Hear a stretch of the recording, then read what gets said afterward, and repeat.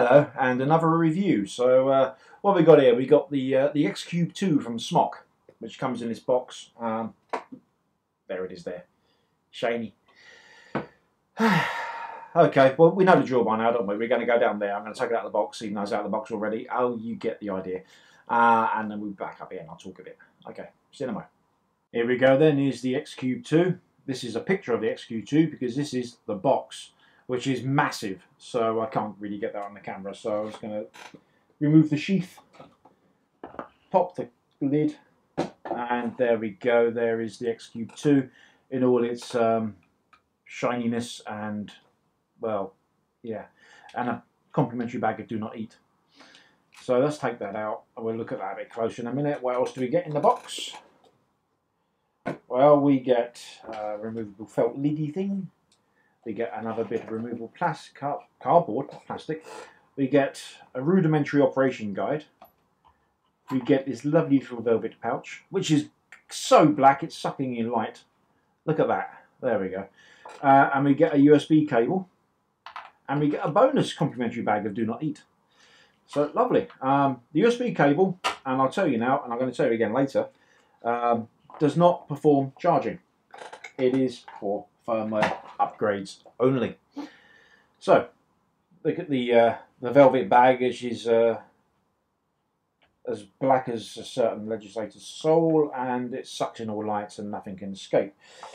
So, yeah, let's get that out of the way. We're interested in this bit, which is incredibly shiny. Look at that. Uh, it's just causing absolute merry havoc with all my uh, lighting and things. But anyway, there we go. Maybe some focus. Let's have a look see at that. There we go. Right, so we can see there the blue reflection of the camera, um, so we'll ignore that. This will be the battery cover. There we go. So there we can see some magnets that hold the battery cover in place. We can see the fact that they are, uh, shall we say, um, stacked batteries. It's uh, negative, positive, negative, positive. So it's a stacked battery thing. At this point, I'm going to point out something. Let's get this out of the way. This is the back of the box, flattened slightly and uh, very washed out in white. Now, you can have a quick scan of that if you like. But at no point does it ever say on here that it uses stacked batteries. Okay. Now, if I look in the little tiny user guide thing that comes in this envelope, uh, there you can see there's a quality control thingy. You can see a very black and uh, tactile manual, which is not entirely in English. Oh, it is. I'm getting confused with something else that had uh, a manual in uh, different language. But yeah, okay, so there we go. Again, it doesn't say anything in here about the fact that batteries are stacked, or cells are stacked.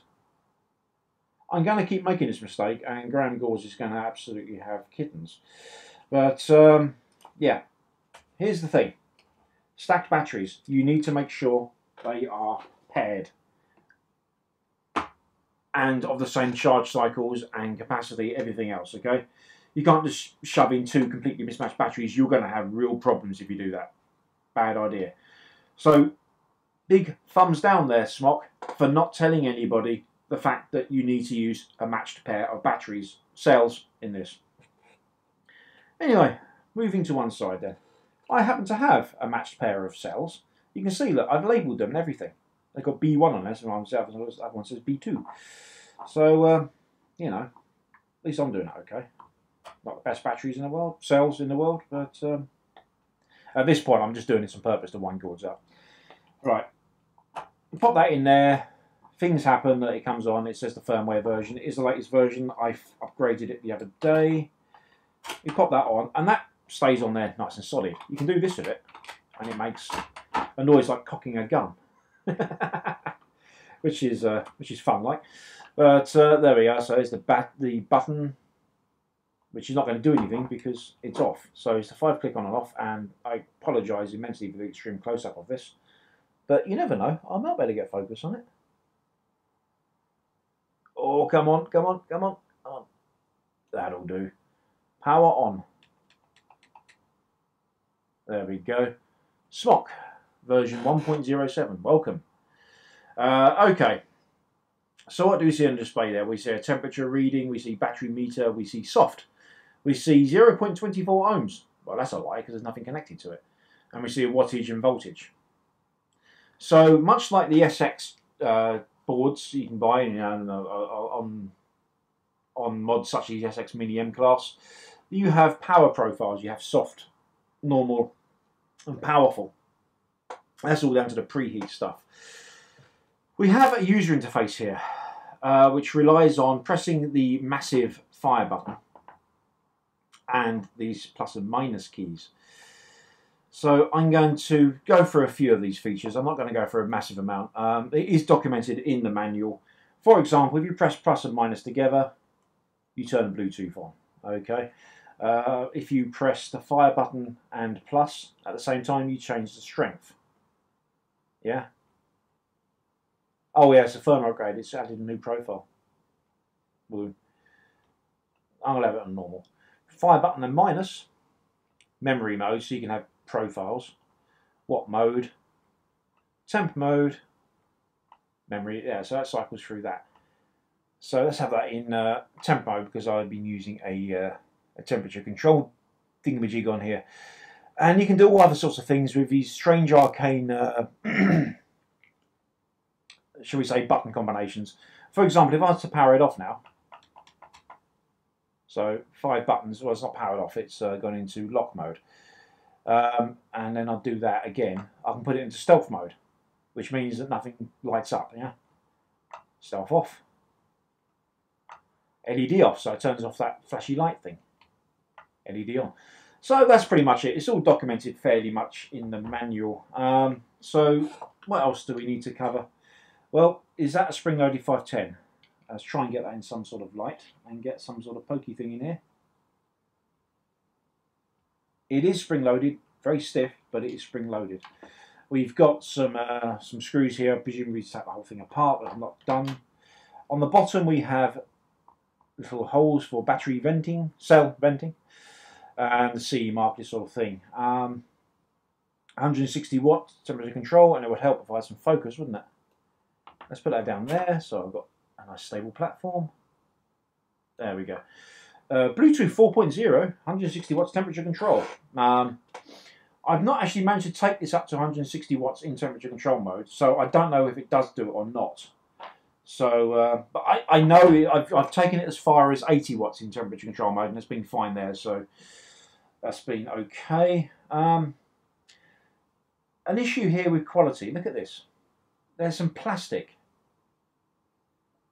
over the coming out over the uh, the join here. Now, whether that's there was no sort of plastic film covering it. You know, you know, some things where you uh, peel off a protective plastic layering. I didn't have that when I took it out of the box. So whether or not this has been pre well no it was shrink wrapped the whole box was shrink wrapped so I don't believe it to have been tampered with. So I can just really put that down to a bit of poor quality control. I should probably sit here and pick it off but I haven't because I want to show you guys in video. This scuff here is not caused by me. That was as it came.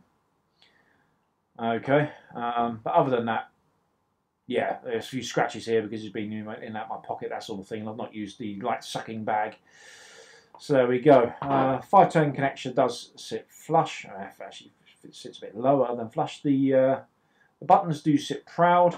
The screen is on top here. You can change the orientation of it. I've never bothered. Um, so yeah, that's pretty much it. I've had no issues with screwing any device on top here. Everything fits, uh, including this is well easily accommodate a 23 millimeter atomizer. You probably get a 30 mil on here quite happily, to be honest. But here's a sub tank Plus, or the original sub-tank, whatever way you want to look at it. Um, let's just screw that on there. You know, and the sub-tank Plus is a bit of a beast. That fits on there quite nicely. So yeah, so say 23 mil would probably be about your limit there. Well, maybe a bit more, but there we go. So yeah, there we go. So uh, let's now go back to me and I'll vape it and I'll show you the software and that sort of thing. And look, fingerprints already. Ah, grand. Hello. so the X Cube 2 then. let's go for the nitty gritty of it all. Right, uh, as you can see, I've got the Smok TF V4 sitting on top here. Um, I'm not going to go into massive depth about it because you would have seen Marco talking about the uh, the tank. Um, but what do I think of it? Um, with the rebuildable section in it, it's okay. But with the um, here it is. With the coils that come into it, it leaks like heck. It really does. So I'm not overly fond of it, but it's okay with the uh, rebuildable section. Anyway, it's enough of that. So there we go then. What's it like to use? Um, it's big. It's very, very hefty. I mean, this is almost an offensive weapon. Um, the button was very weird to me to start with uh, until I tweaked it. You don't have to press it all in. You can press it just by, you can use it just by pressing that or uh, down the bottom there. You know, you don't have to go, it's not like a grip strength testy thing. Well, yeah, it works. Um, the menu system, as we saw in the close-up section, is a bit fiddly, but you can use your phone. So, here we go, tech time. Now, some of you keen viewers may remember I did this before. My first ever Vapour Trails video. Hmm.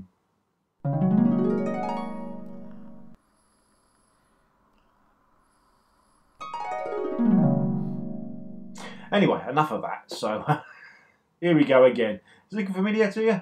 Look at that. Look, look, look. Hang on, is that so? Uh, uh, yeah, that side. That side. There it is. So, uh, right, what we got here then? You can see me vaping on it. So, uh, yeah, I've got this app currently hooked up to my iPhone and uh, it's all hunky-dory. So you can do little things like this. So it's in temperature control mode. I want to set this to 512 degrees Fahrenheit. It is an atomizer with an Ni200 coil. Uh, I can change the variable power, which this is a weird thing because you have to set the power separately. So I want to say, let's say 63.5 watts, right? And then I have to go there and set the temperature, and then click OK. Bizarre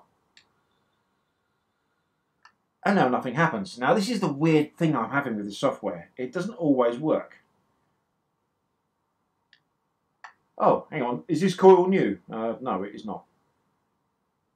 Okay. It was limiting the temperature there, which is kind of what you want. But that's that shouldn't be limiting that. I mean, uh, it's I, have got I've got issues with this. And I was asking for my password again. It's fiddly, all right. I've set the password as default. Okay, if you ever see me in a world of this, it won't be the six zeros, all right. So let's put it in variable power mode at that, and then I'll set to that.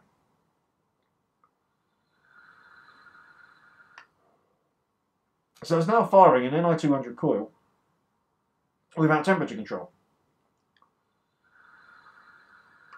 And you can see there, the I, this is really hard. I'm trying to look at my monitor and then look at the camera and uh, awkward stuff.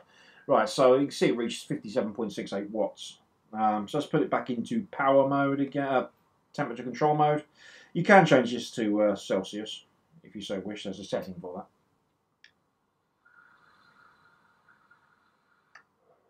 And the temperature limits out. So yeah, that's fine. But to be honest, I don't think I should be kicking into that that quickly. I'm going to put a different tank on here because I'm not entirely satisfied with it.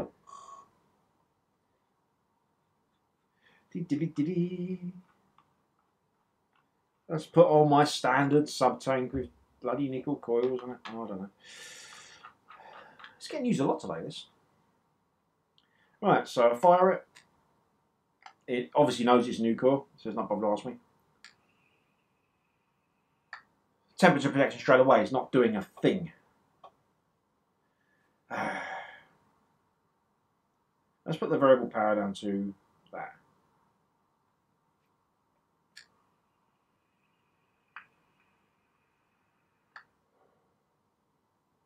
Yeah, that's working.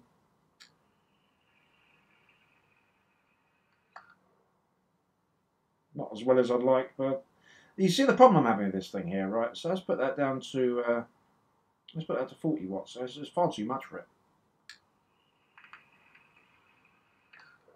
At least on anything else, but it's fine on here. So I, I, I don't really know what it's doing. Um, temperature control mode again. 500 degrees, 512 degrees Fahrenheit should be adequate. And it is now. So I, it's very hit and miss, okay, people. Anyway, let's soldier on. Let's go to these settings here. So you can change the name of it. I can set the password. I can change the temperature to Fahrenheit or Celsius. I'm going to leave it on Fahrenheit. Charging alert at 20%. I can set the LED colour. So currently it was white. You saw that, didn't you? You saw that. Let's have uh, let's have a red. Is it going to do it? Well, yeah, it's gone red, but you probably won't see that on the camera. It's more of a pink. So let's, uh, let's go something a bit more obvious. Let's go for a Marco defeating green. There we are. That's now green. And it works. And that's also now far too hot for it, so I don't know what's going on. I can go for a little sort of a colour cycle thing sometimes when it works. I'm going to drop the temperature down because 400 and oh that'll do. Right, so you'll see now when I'm firing it. It changes colour and it's it's a it's a gimmick. It really is nothing more than a gimmick. Uh, if I go to that one, I can't remember what that one does.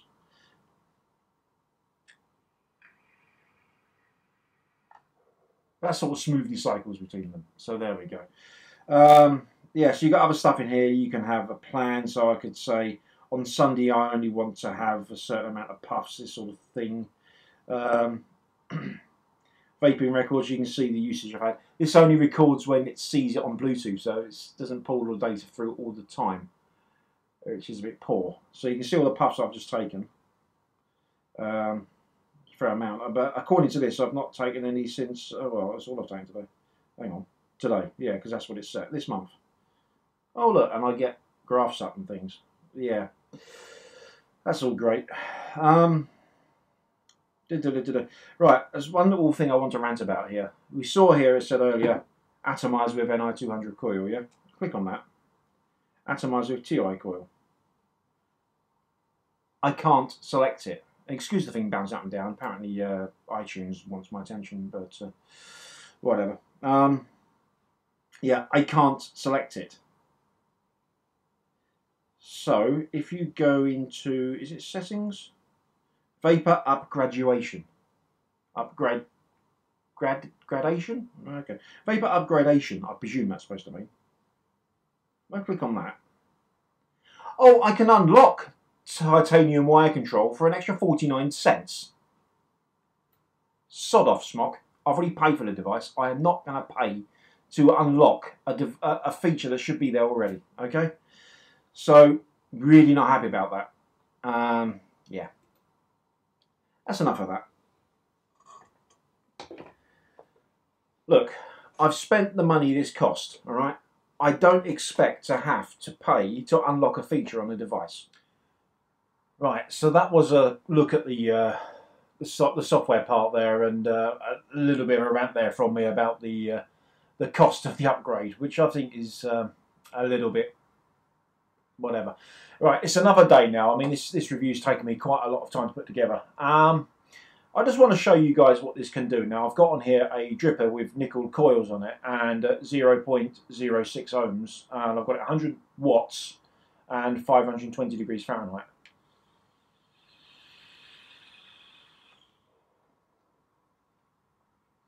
Now, that does produce.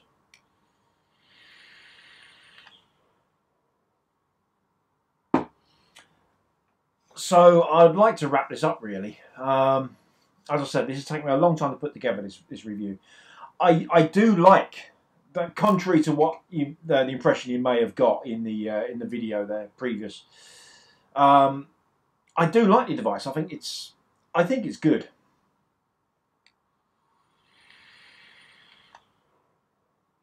But do I think it's great? No, I don't.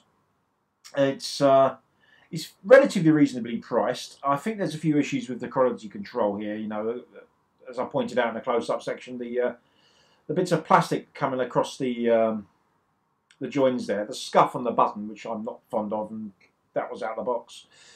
Um, yeah, the stacking batteries issue, that is an issue, but as long as you're aware of that, you should be okay, and as long as you are safe with your batteries, you should be fine.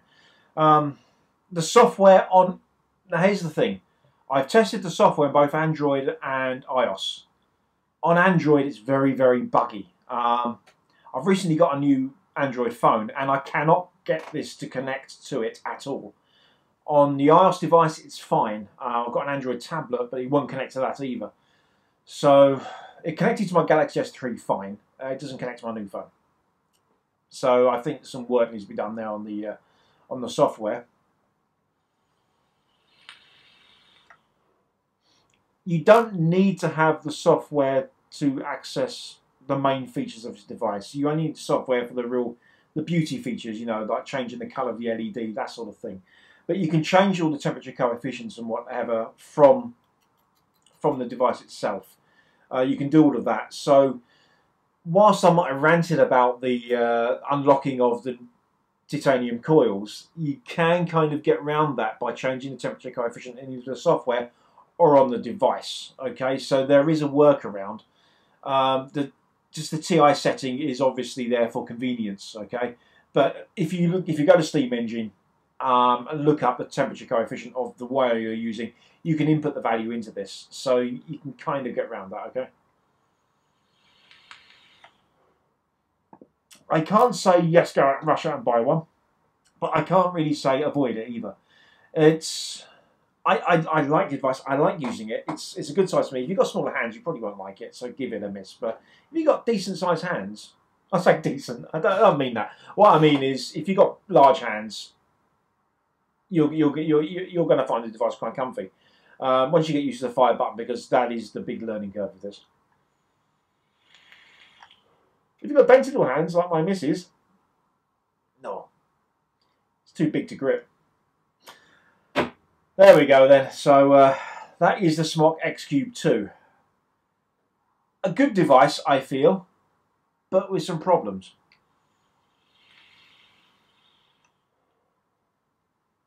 Ta-ta, I'm there. Honestly, I am here. Ta-da.